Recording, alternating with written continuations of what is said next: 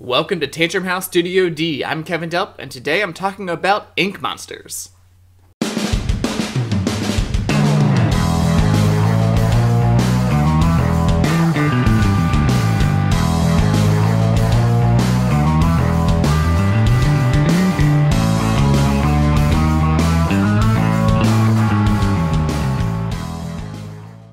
Ink Monsters by Albino Dragon is a 2 to 6 player game and it's on Kickstarter right now.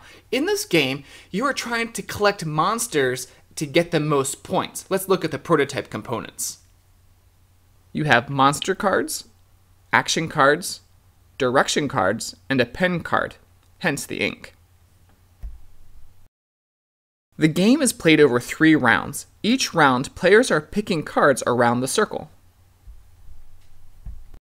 But you can only pick a monster by either picking up one in front of the pen or by moving the pen card by playing an action card in front of a new monster and then picking it up. Once the last monster is picked, that ends the round. At the end of three rounds, players tally up their points. As you probably saw, there are positive point monsters and there are negative point monsters. So you're trying to get the positive ones and not get stuck with those negative ones because the person with the most points wins the game. The game art has a nice feel to it. The monsters are cute and have funny names, and of course it reminds us of Monsters Inc., so Ink Monsters is a fitting name for the game.